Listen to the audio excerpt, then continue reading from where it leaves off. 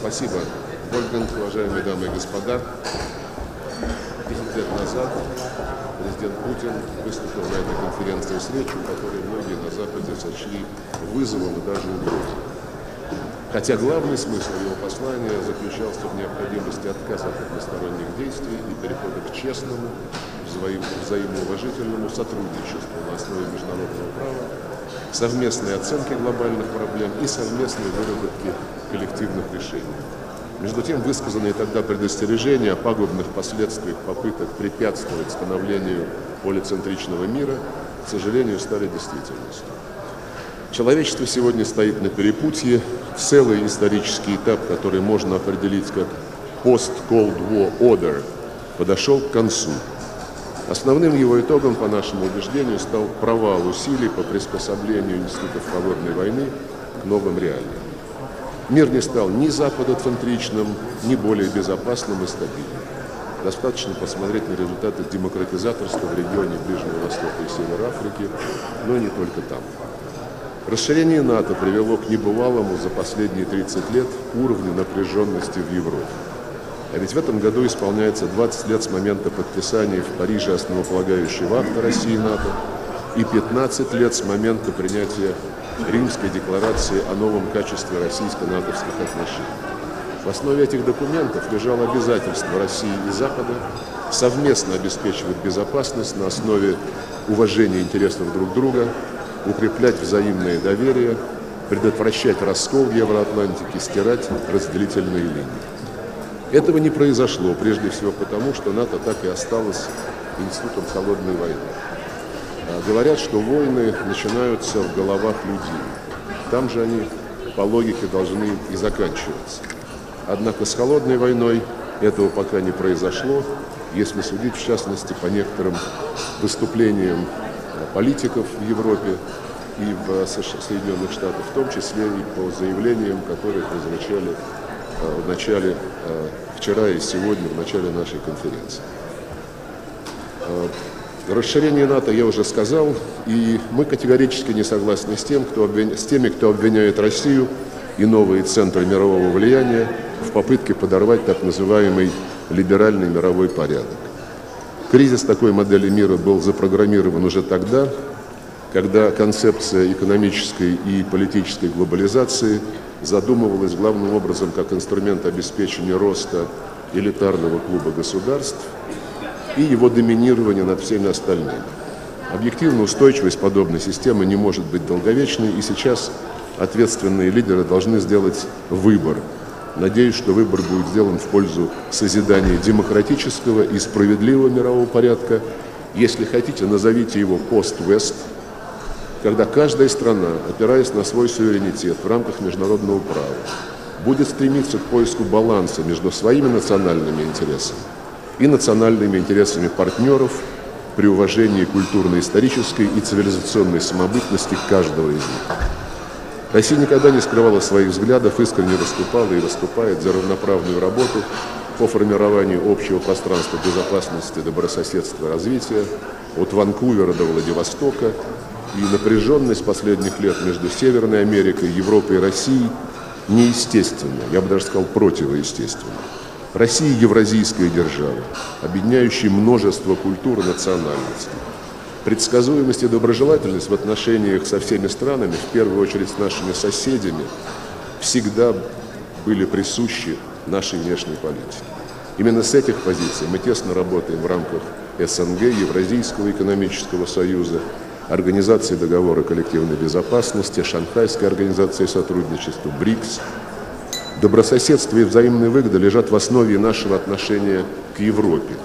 Мы часть единого континента. Вместе писали историю, достигали успехов, когда работали сообща для процветания наших народов. Многие миллионы граждан Советского Союза отдали свои жизни за свободу Европы. И мы хотим видеть ее сильной, самостоятельной в международных делах, бережно относящейся к нашему совместному прошлому и будущему, оставаясь открытой всему миру. Не может радовать, что Евросоюз не находит в себе сил отказаться от выстраивания своей российской политики по принципу наименьшего знаменателя, когда коренные прагматические интересы стран-членов приносится в жертву русофобским спекуляциям на принципе солидарности. Рассчитываем на торжество здравого смысла. Каких отношений мы хотим с США? Отношений прагматизма, взаимного уважения, осознания особой ответственности за глобальную стабильность. Две наши страны никогда не были в прямом конфликте, между ними было гораздо больше дружественной истории, нежели противостояния. Россия немало сделала для поддержки независимости Соединенных Штатов, их становления в качестве единого сильного государства. Наших общих интересах конструктивное выстраивание российско-американских отношений, тем более, что Америка не менее близкий, чем Евросоюз, наш сосед. В Беринговом проливе нас разделяет всего 4 километра. Потенциал кооперации в политике, экономике, гуманитарной сфере огромен, но ему, конечно, еще предстоит быть реализованным. Мы к этому открыты настолько, насколько к этому готовы в США. Сегодня нет недостатка в оценках генезиса таких глобальных вызовов, как терроризм, наркобизнес, кризисов, охвативших пространство от Ливии до Афганистана, где кровоточит Сирия, Ирак, Ливия, Йемен. Наверняка дискуссии в Мюнхене даст возможность подробно рассмотреть все эти проблемы, как и сохраняющиеся конфликты в Европе.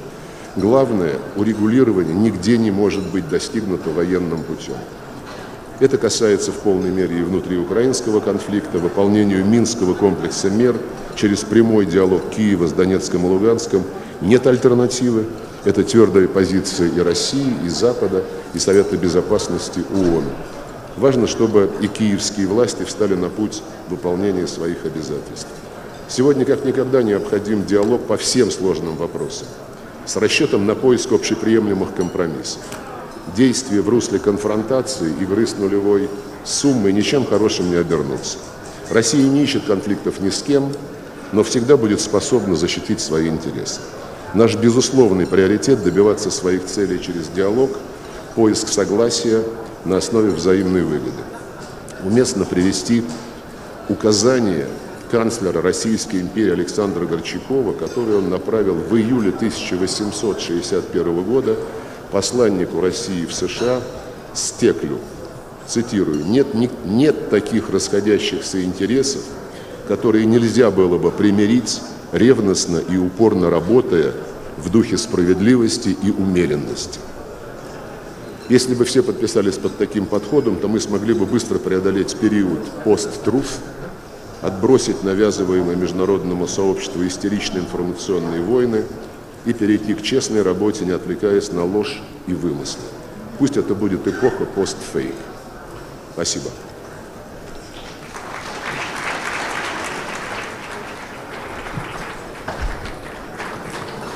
Well, thank you very much, uh, Mr. Minister. This was uh, uh, a brief statement that, that gives us, in fact, uh, 10 minutes or so for questions. I look around. The first, uh, the first hand that went up was Ed Lucas, right here in the second row. Can somebody give him a microphone?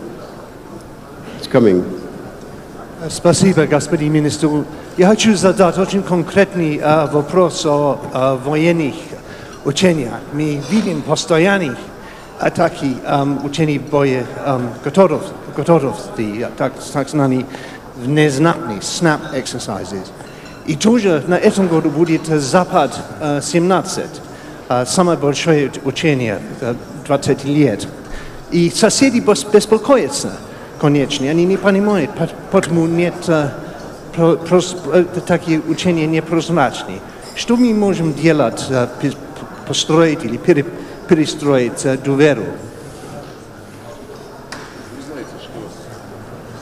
Does it work?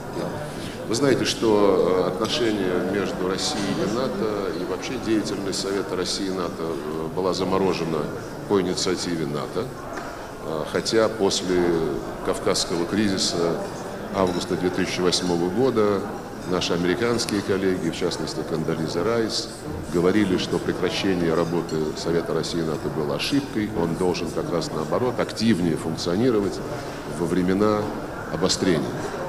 Но, как говорится, грабли те же. Альянс принял решение заморозить всю практическую деятельность. А, И мне вчера это Йенс Столтенберг подтвердил.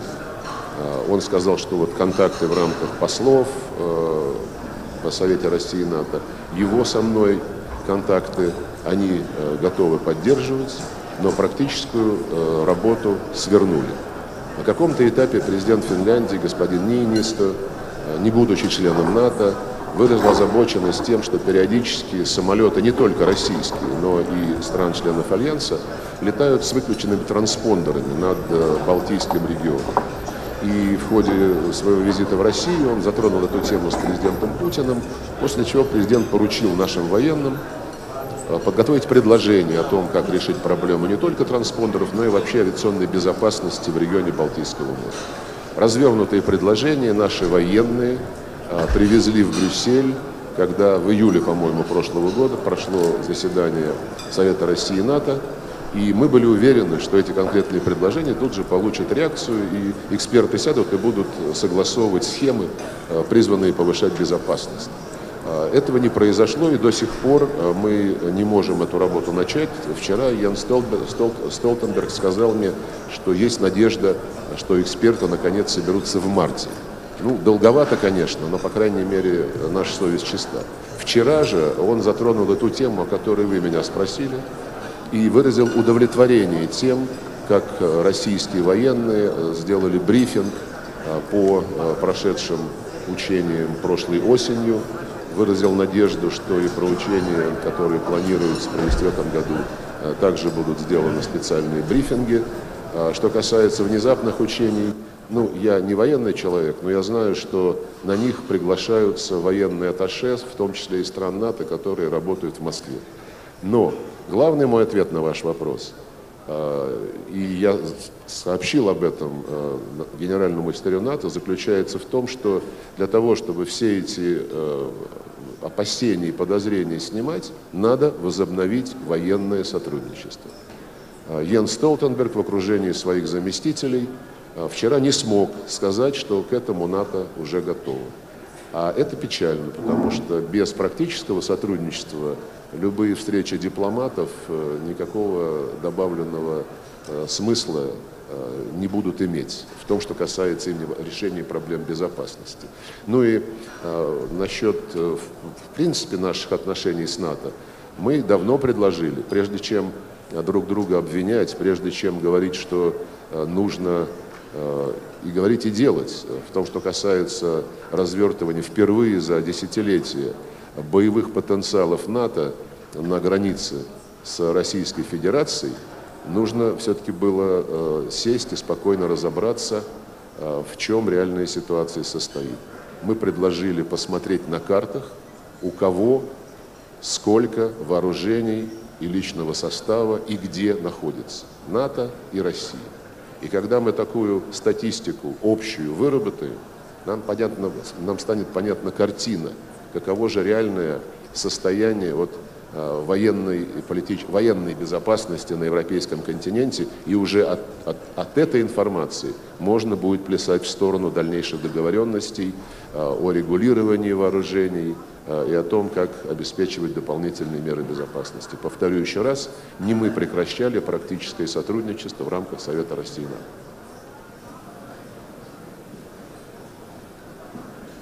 Okay, thank you very much.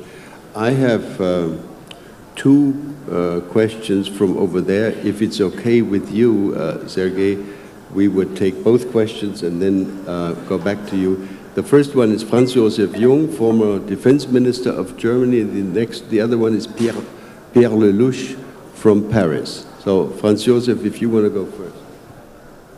Ja, besten Dank. Herr Minister Lavrov, Sie haben ja heute Morgen gehört, was auch die Bundeskanzlerin gesagt hat.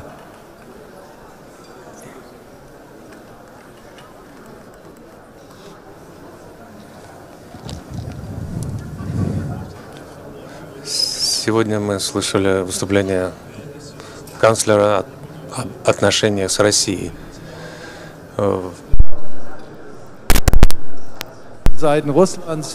Со стороны России исходили какие-то позитивные сигналы для улучшения ситуации. Поэтому у меня конкретный вопрос. Минск-2. Россия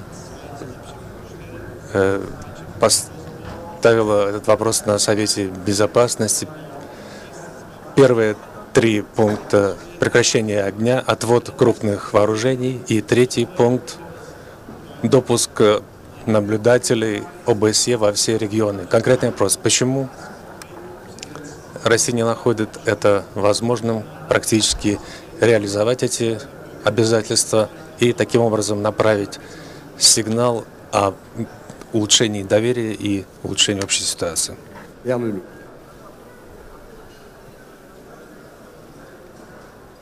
Oui, Monsieur le Ministre, vous avez, euh, à la fin de votre euh,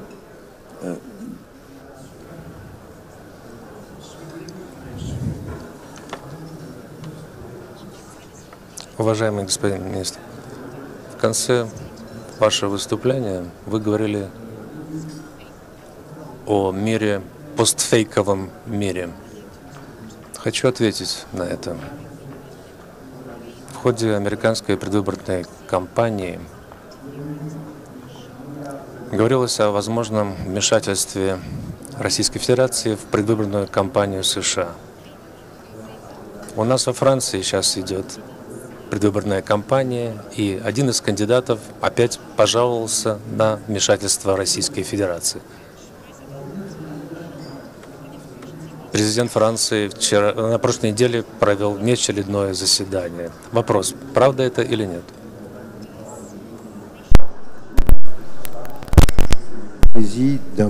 de post-vérité de fausses nouvelles.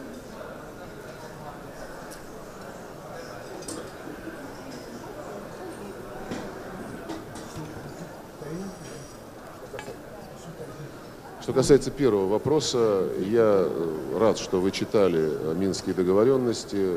Жаль, что не до конца, судя по всему, а, потому что действительно первым пунктом является отвод тяжелых вооружений, но дальше там сказано, на 30-й день после начала отвода, а он начался в апреле 2014 года, на 30-й день после начала отвода киевские власти подготовят э, проект закона э, о э, выборах и начнут по нему консультации с Донецком и Луганском.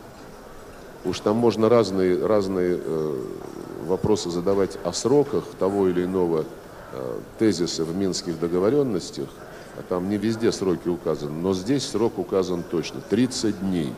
Отвод начался, и Э, начало консультации с Донецком и Луганском не было обусловлено завершением отвода. Но с тех пор, э, как вы знаете, э, многое поменялось. Отводились вооружения, потом они пропадали из мест хранения. Специальная мониторинговая миссия ОБСЕ, которая работает в очень непростых условиях, и чью деятельность мы весьма и весьма ценим, и рассчитываем, что она будет более представительной, эта миссия, с точки зрения Э, репрезентативности членов ОБСЕ э, не только из э, НАТО и Евросоюза. И специальная миссия ОБСЕ отмечала многократно нарушения с обеих сторон, и в том, что касается нарушения режима прекращения огня и э, наличия тяжелых вооружений в зоне безопасности, но э, неизменно чемпионом по отсутствию тяжелых вооружений в местах складирования была э, сторона вооруженных сил Украины. Э, но, повторю, другие нарушения случаются с обеих сторон. Э, нас, знаете, вот, многократно обвиняли, в том числе недавно были какие-то интервью неких украинских политологов, что, во-первых, обвинялся Путин в том, что он создает живые щиты из женщин и детей на Донбассе. А, и что пытается внушить а, украинцам, живущим по левую сторону от линии соприкосновения, что на Донбассе люди, которые э, их ненавидят, а Донбассу пытаются внушить, что украинцы, украинское правительство хочет их уничтожить. Это настолько, настолько все э, лживо, настолько все шито белыми нитками. Писали также, что и э, Донбасс и российские некие войска сами обстреливают Донецк, чтобы потом все свалить на Украину. Знаете, я много раз говорил, если вот начинать с того, о чем вы спросили, как сделать э, перемирие, как сделать прекращение огня устойчивым. Э, мы в Российской Федерации, как бы вы ни относились к нашим средствам массовой информации, ежедневно в прямом эфире видим, как работают наши корреспонденты на линии соприкосновения в Донецке, в Луганске. Они э, показывают репортажи live, э, показывают разрушение э, жилого сектора, разрушение социальной инфраструктуры, включая детские дома, школы, поликлиники, и показывают жертвы среди мирного населения. И я стал интересоваться, а что же происходит по западную сторону от линии соприкосновения, и смотрел и CNN, и Fox News, и другие каналы, Евроньюз, и я, BBC, конечно же. И я не увидел вот аналогичной работы корреспондентов западных каналов на западной стороне линии соприкосновения, чтобы они давали такую же картинку в прямом эфире, которую дают наши журналисты с риском для жизни. Иногда они бывают ранены, иногда гибнут. И я поинтересовался у моих западных коллег, это что, как бы не рекомендуется из-за соображений безопасности западным медиа работать вот на той стороне линии соприкосновения? Ответа нет. Тогда мы попросили мониторинговую миссию ОБСЕ, чтобы они в своих докладах особое внимание уделяли тому, какие конкретно разрушения в гражданской инфраструктуре наблюдаются из-за взаимных обстрелов справа и слева от линии соприкосновения. И пока мы такой исчерпывающей информации не получаем. Это наводит на мысли, почему, почему западные корреспонденты, которые так хотят нести правду всему миру про события на Украине, не показывают того, что происходит вот на западной стороне этой линии, которую контролируют вооруженные силы Украины. Их не пускают по соображениям безопасности или это самоцензура? Я бы хотел в этом разобраться. Наша статистика говорит о том, что уничтожение социальных объектов на э, стороне, контролируемой Донбассом, в разы э, больше, чем э, аналогичная ситуация по левую сторону от линии соприкосновения. И в основном огонь ведется по позициям, которые занимают вооруженные силы Украины. Тем не менее, отдельные представители средств массовой информации прорываются в э, зону боевых действий. И не так давно э, я видел доклад, кстати, Международного института стратегических исследований Вашингтонского и видел сообщение журналистов газеты «Вашингтон-Пост», которые побывали на линии соприкосновения и написали, что насилие в Донбассе провоцируют добровольческие батальоны, которые никому не подчиняются, которые не берут приказов от вооруженных сил Украины, действуют э, абсолютно на свое усмотрение. И вот написали журналисты, журналисты из Вашингтон-Пост, там воюют тысячи неподконтрольных Киеву ультранационалистов из правого сектора. Дальше они сделали такой еще вывод. Киеву, наверное, выгодно, чтобы вооруженные и озлобленные радикалы оставались на линии соприкосновения в Донбассе и не устроили в столице новый Майдан. Упомянули они, кстати, о воюющих в Донбассе неонацистах-иностранцах, на которых тоже закрывают глаза. А, мы это обсуждаем в рамках нормандского формата. У нас будет сегодня встреча министров иностранных дел Франции, Германии, Украины и России. Но а, вот вопрос о том, почему так мало информации о происходящем по западную сторону линии соприкосновения, он остается открытым. А он является ключевым для ответа на ваш вопрос, почему мало прогресса э, в сфере безопасности. Но прогресс в сфере безопасности э, не может э, быть самоцелью. Целью нашей общей является полное выполнение минских договоренностей, которые гласят, да, обеспечение безопасности на линии соприкосновения, я упомянул о причинах, по которым этого пока не удается сделать, проведение конституционной реформы с тем, чтобы закон об особом статусе стал частью Конституции, проведение амнистии для всех участников боевых действий на Донбассе, точно так же, как все без исключения э, участники э, событий на Майдане были амнистированы, и затем уже проведение выборов. И только после этого, гласит Минская, Минские договоренности, восстановление полного контроля украинского правительства над границей с Российской Федерацией. Пока, как я, еще, как я уже сказал, э, мы этого не наблюдаем. И э, то, что говорят наши европейские партнеры относительно, относительно санкций, я уже высказывался насчет того, насколько, насколько в общем-то, не, нелогично и искусственно звучит формула Минские договоренности должны быть выполнены Россией, и тогда Евросоюз снимет санкции. Мы тоже хотим, чтобы Минские договоренности выполнялись, и мы свои санкции против э, Евросоюза не снимем, пока Минские договоренности не будут выполнены. Этого тоже надо понимать. И я знаю, что реальная картина происходящего на Украине, и реальная э, э, картина тех причин, по которым Минские договоренности буксуют, э, прекрасно известна и в Париже, и в Берлине, и, смею надеяться, в Вашингтоне, да и в других столицах, в том числе и в штаб-квартире НАТО. Но вот эта вот неправильно понятая солидарность с, так сказать, с теми, кто решил принести Украине свободу, европейские ценности, она не позволяет громко людям об этом, об этом говорить. Но э, когда наша хорошая э, подруга э, Федерика Магерини говорит, что э, санкции это инструмент, это инструмент реализации э, Минска-2, э, я это принимаю. Знаете, это, значит, идея в том, чтобы санкциями регулировать кризис на Украине. То есть и санкции однозначно возлагают вину на Российскую Федерацию. То есть Магерини, может быть, по Фрейду, но сказала следующее. «А, мы будем ждать, пока Россия уступит, отойдет от Минска-2 и сделает какие-то односторонние шаги, заставит а, ополченцев на Донбассе э, делать такие односторонние шаги. Скрытый месседж – из этой позиции заключается в том, что не надо работать с Киевом. Киев все делает правильно. Но я убежден, что правда известна в ключевых столицах и очень надеюсь, что если не публично, то хотя бы в непосредственных контактах с э, украинскими властями соответствующие сигналы посылаются. Но не только, надеюсь, даже знаю, что это так. Насколько эти сигналы воспринимаются, судить мне трудно.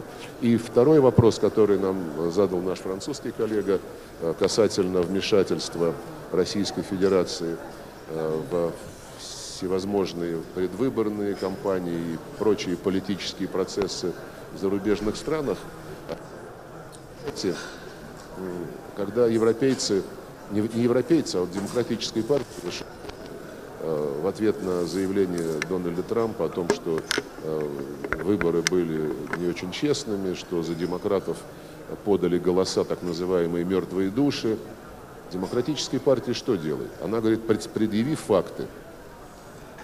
А почему-то, когда нас в чем-то обвиняют, никаких фактов никто ни у кого не требует. Ни одного факта я не видел, ни относительно того, что мы пытались э, взламывать какие-то сайты демократической партии, не относительно того, э, что мы якобы делали во Франции, Германии, Италии. Факты были признаны про Германию, вы знаете, когда, несколько лет назад. Э, было признано, что все высшее руководство прослушивается. На днях были утечки относительно того, что кампания по президентским выборам во Франции 2012 года сопровождалась кибершпионажем со стороны ЦРУ. И представитель ЦРУ сегодня сказал, что э, какому-то журналисту можете написать, что у нас нет комментариев на эту тему. Наверное, нет комментариев. Но э, когда мой добрый товарищ Жан-Марк Эро э, уже после распространения информации о выборах 2012 года и о подозрениях на то, что ЦРУ в эти выборы вмешивалось, а там была, были не только подозрения, но, как я понимаю, и конкретные факты. А он, выступая в парламенте, говорит, что мы будем против э, кибершпионажа как со стороны России, так и со стороны других стран. Ну, э, скром, скромность, она, конечно, всегда украшает человека, но э, в данном случае, еще раз скажу, предъявите нам факты. Напомню, Россия была первой страной, которая много лет назад инициировала в ООН э, работу по э, э, согласованию позиций в сфере международной информационной безопасности, проще говоря, в сфере кибербезопасности. Очень долго наши западные партнеры уклонялись от этой работы. Наконец, пару лет назад мы приняли резолюцию консенсусом. Была создана группа правительственных экспертов. Она написала хороший доклад. Этот доклад стал лег в основу новой резолюции. Была создана еще одна группа экспертов, которая тщательно этим вопросом занимается. Более предметно вопросах кибербезопасности в профессиональном, техническом, технологическом смысле мы предлагали заниматься нашим коллегам давным-давно. Когда американцы стали обламывать наших граждан в нарушении договора, который у нас есть, президенте Обаме, не сообщали нам о том, что они их отловили по подозрению в киберпреступлении, а мы предложили, давайте сядем и начнем разбирать все эти вопросы. Мы совсем не хотим, чтобы российские граждане, граждане занимались этими киберделами. И в ноябре 2015 года мы предложили администрации Обамы сесть и начать такую двустороннюю работу по кибершпионажу, по кибербезопасности, по всем киберподозрениям. Вот от них не было никакой реакции, хотя Джон Кевин каждый раз, когда мы встречались. В итоге в декабре Милошин Владимир сказал, давайте встречаться, а потом нам ответили у нас сменная администрация, давайте пока это все отменим. И сегодня Меркель, говоря о кибербезопасности, выдвинула очень интересную мысль о том, что Совет России НАТО должен бы заняться этой проблемой. Я обращаюсь к ответу на самый первый вопрос. Мы были всегда за то, чтобы Совет России НАТО функционировал максимально конкретно. Не мы прекращали практически сотрудничество. Если теперь канцлер Германии, одного из ведущих членов НАТО, выступает за то, чтобы НАТО занималась кибербезопасностью, я чтобы Совет России НАТО занимался кибербезопасностью. Исхожу из того, что это сигнал к тому, что, мере, Берлин хочет, чтобы Совет России и НАТО возобновил полноценную функцию, а не просто ограничивался дискуссией. Прошу прощения за лишнее время. No, no, no, no, that's quite all right. Uh, we, we wanted you to have the time to uh, respond to these questions, and I'm sure there would, if we had more time, there would be 10 or 15 more questions. We have run out of time. I know lunches are waiting for all of us. You have probably bilaterals waiting. Thank you, Mr. Foreign Minister. Thank you for your contribution. The morning session is concluded.